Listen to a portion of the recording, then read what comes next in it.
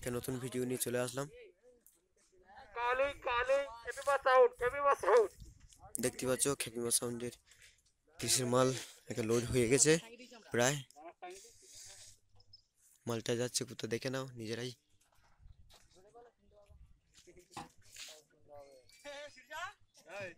নিশ্চয়ই দেখতে পাচ্ছ মালটা কোথায় যাচ্ছে। শিয়ালাগুড়ি পান্ডুয়া হুগলি।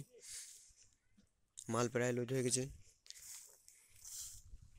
দেখতে থাকো বন্ধুরা।